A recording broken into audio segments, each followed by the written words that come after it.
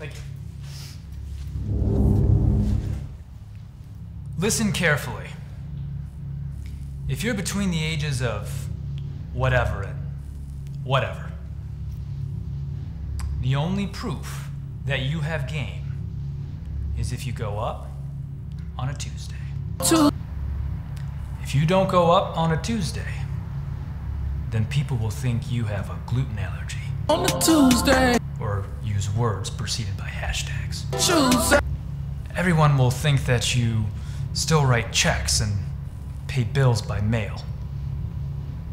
The only words they'll hear are YOLO and swag. Tuesday, So ask your closest friend to do it up on a Tuesday. It's the only proof that you still have game.